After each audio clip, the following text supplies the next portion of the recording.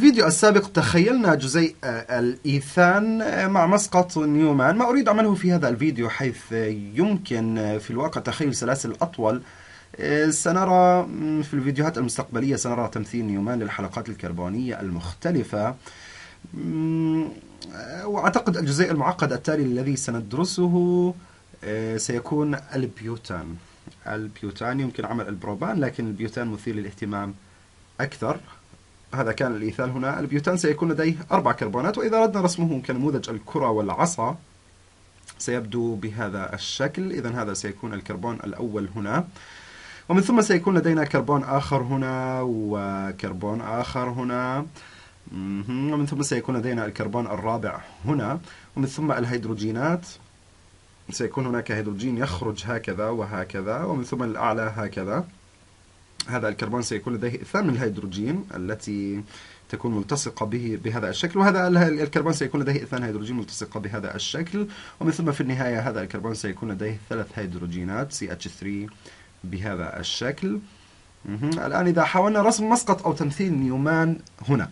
سنتساءل, سنتساءل أي منها سيكون الكربون الأمامي أو الخلفي؟ في الواقع يمكن الاختيار والمثير للاهتمام في جزيء البيوتان هو إذا اخترنا هذا الكربون واحد اثنان ثلاثة أربعة. إذا اخترنا الكربون الثاني في المقدمة والثالث في الخلف ومن ثم أظهرنا هذا الكربون CH3 كفرع على هذا الكربون. يمكننا يمكننا حينها رسم تمثيل نيومان. إذا لنحاول عمل هذا. إذا هذا سيكون الكربون الأمامي. إذا سنضع هذا الكربون في الأمام. وسنضع هذا الكربون هنا في الخلف. وقبل رسم مسقط نيومان دعوني أعيد رسم هذا لكن سأرسم هذا حيث بدلا من الهيدروجينات والروابط المحددة بوضوح. سأسمي هذا ب CH3 لنعيد رسم هذا. إذا سأستخدم اللون البرتقالي. إذا لدينا هذا الكربون. أنا أرسم الآن تمثيل الكرات والعصا. هذا الكربون لديه هذا الهيدروجين. وهذا أيضا. والآن سأرسم مجموعة ال CH3 وهي هنا بالبنفسجي. هنا بالبنفسجي. سأرسم كل هذا ك CH3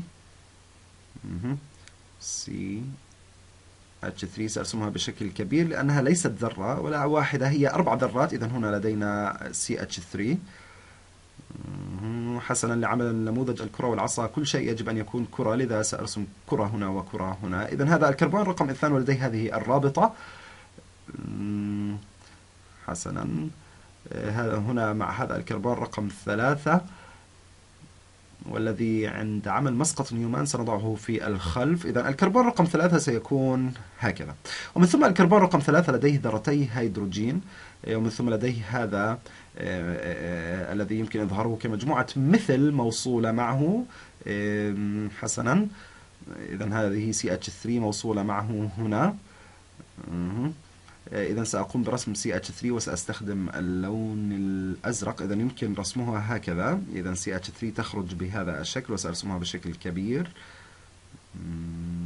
لأنها ليست فقط ذرة واحدة. إذا هنا ال CH3 ومن ثم لدينا ذرتي هيدروجين هنا آسف. لدينا ذرتي هيدروجين أسفل هنا. سأكون واضح هنا.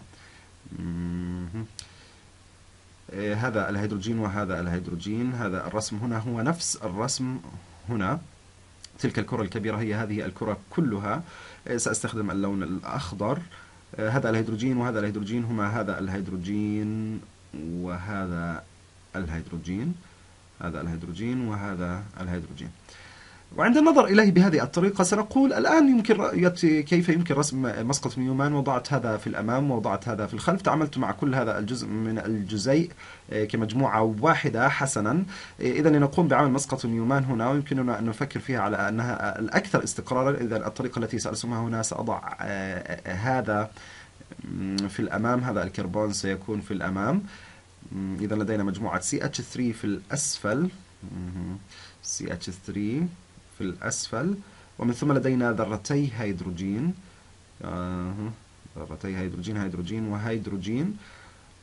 هذا في الأمام. ومن ثم في الخلف لدينا الكربون الأزرق. يمكن تخيل هذا في الأمام. ربما يجب آه، رسم شيء برتقالي صغير لإظهاره إذا آه، أن هذا هو الكربون البرتقالي. ومن ثم الكربون الأزرق سيكون في الخلف.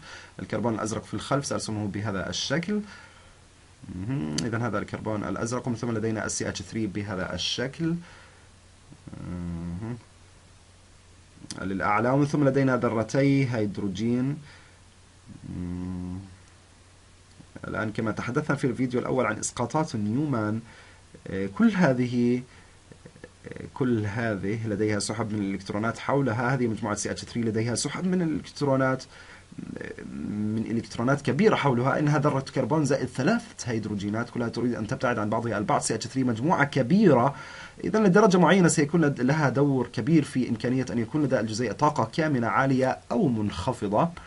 أعتقد أن هذا واضح وربما ليس كذلك لكن آه، مجموعات ال CH3 بما أن لديها أكبر تزاحم للإلكترونات فإن آه، فإن مجموعة السي اتش 3 سي اتش 3 هذه وهذه المجموعة تريدان أن تبتعدا عن بعضهما البعض بقدر الإمكان. إذا الطريقة لعمل هذا تبدو مثل الشكل المتداخل لكن عند التعامل مع مجموعات آه، المثل الفعلية حيث تبتعد عن بعضها آه، البعض أبعد ما يمكن نسمي هذا مكافحة التشكل anti conformation conformation anti conformation anti conformation وإذا كنا نفكر في زاوية ثنائي السطوح بين مجموعات المثل الزاوية ثنائية السطح هنا هي 180 درجة. 180 درجة. آه، وهذه الحالة هي الأقل طاقة lowest potential energy أو الحالة الأكثر استقرارا the most the most stable. وإذا كنا إذا كان التحدث عن الطاقة الكامنة يربككم فكروا آه، في الصخرة على الأرض لديها طاقة كامنة. إذا رفعناها في الهواء الصخرة التي بعيدة 50 قدم في الهواء سيكون لديها طاقة آه، أكبر آه، طاقة كامنة. ربما إذا دفعتها دفعتوها. لل... أو تركتوها ستتحرك عندما يكون لديها طاقة عالية. إذا هي ستتحرك للأسفل بسبب طاقة الوضع عندها. إذا هذا أكثر تشكل استقرارا لأنه لديه الأقل أو أقل طاقة من طاقة الوضع. حسنا يمكن متابعة تدوير هذا لنقل أننا ندور الكربون الخلفي باتجاه عقارب الساعة.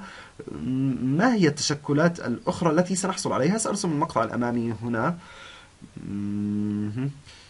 إذا لدينا CH3 CH3 ومن ثم لدينا ذرتي هيدروجين.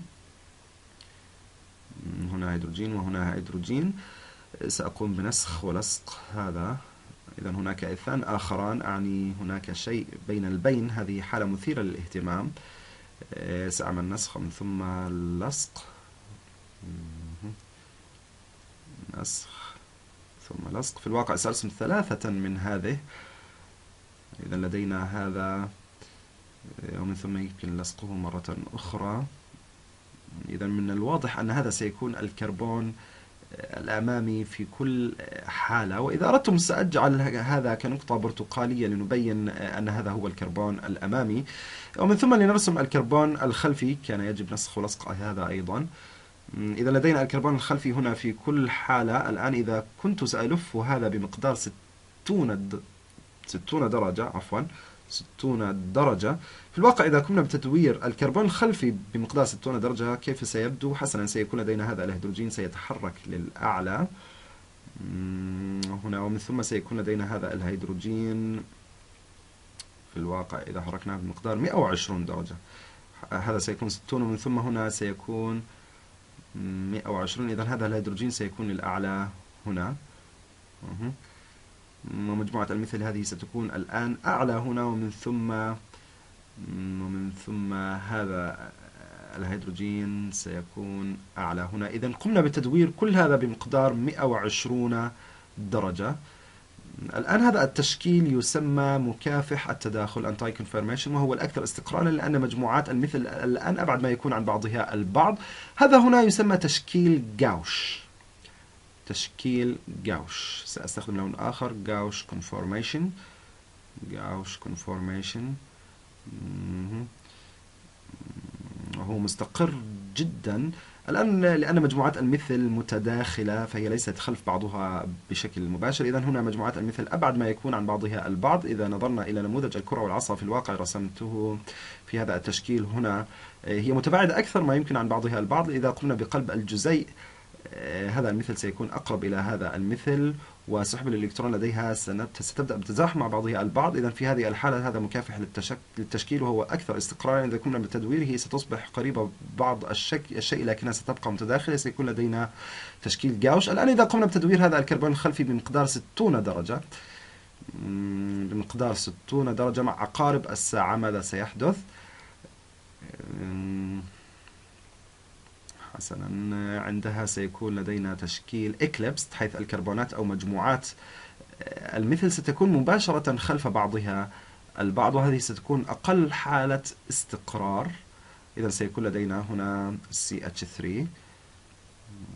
سيكون لدينا هنا CH3 ومن ثم سيكون لدينا الهيدروجينات مباشرة خلف بعضها البعض. إذا هنا لدينا هيدروجين وهنا هيدروجين. إذا في هذه الحالة حيث تشكيل الإكليبس هي الحالة الأقل استقرارا وأيضا حيث طاقة الوضع هي الأعلى.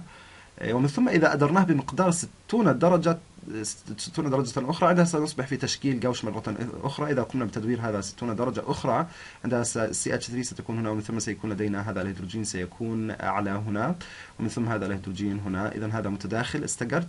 مجموعات المثل على الأقل ليست خلف بعضها البعض مباشرة لكنها ليست أبعد ما يمكن. إذا قمنا بتدوير هذا 120 درجة أخرى سنعود لمكافحة التشكل. إذا هذا هنا أيضا هو تشكيل جاوش. أرجو أن تكونوا قد فهمتم هذا الآن. يجب فقط أن تختاروا ذرتي كربون ومن ثم يمكن إذا كان هناك أشياء كبيرة موصولة بهذه الكربونات يمكن أن تمثيلهم كمجموعات. وعند عمل هذا سنستخدم إسقاط نيومان لأي جزء من الجزيء. وعند عمل هذا يمكن أن نفكر كيف يمكن تدوير هذا وأي أجزاء أو أي تشكيلات ستكون أكثر أو أقل استقرارا.